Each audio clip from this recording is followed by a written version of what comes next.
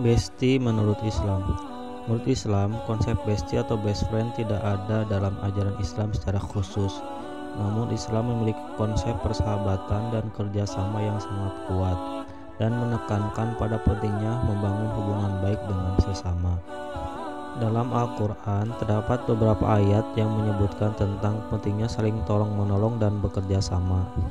Dalam Islam, penting untuk membangun hubungan baik dengan semua orang, bukan hanya segelintir teman dekat saja. Namun, jika kita memiliki seorang teman yang setia dan selalu ada dalam situasi kesulitan maupun senang, maka itu adalah hal yang baik dan harus dihargai.